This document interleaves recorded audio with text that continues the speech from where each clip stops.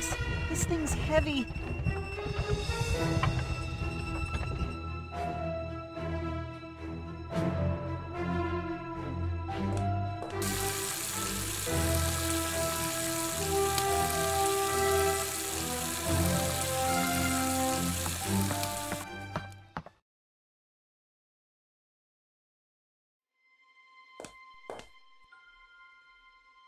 The prompter's box. That's what the illusionist manipulated. I should examine it closer.